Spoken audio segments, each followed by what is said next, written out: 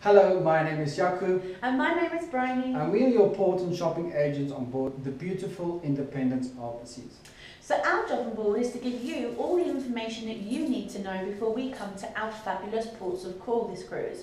So that's everything from beach information, taxi fares, restaurant recommendations to our number one tourist attraction in the Caribbean. That's right, the shopping. Our job on board is also to help you make the most out of your days in port.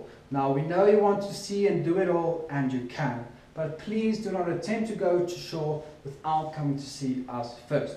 We are here to help you plan your day, save you time and save you loads of money. Now where can they find us on the ship, Ryan? So we will be available to you all cruise long. Our desk is on deck 5, right next to the StarQuest Lounge. But please, please, please check your cruise compass for the exact time. We also have a port and shopping hotline number, which I want you to write down right now. 5500. I'm going to repeat this 5500. Please do not hesitate to phone us anytime throughout your cruise with all your questions. We will be happy to answer them for you. Now, where else can they find us on the ship, Ronnie? So, you will also find us on the gangway when we arrive into port. But again, please check your cruise compass for the exact times.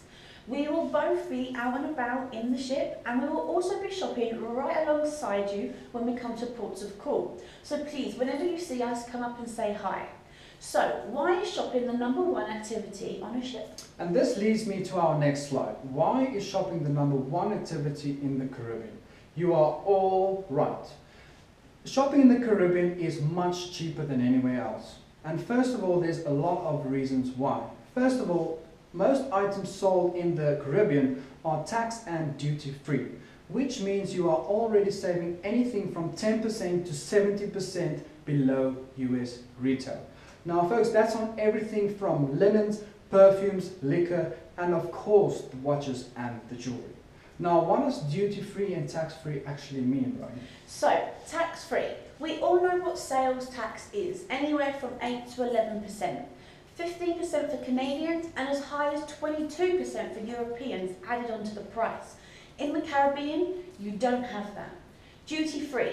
Duty is a tariff that's placed on top of all items when they are imported into a country, anywhere from 5 to 70%. In the Caribbean, you don't have that either, so it's huge savings.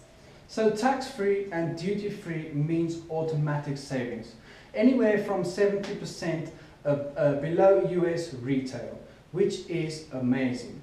But it gets even better.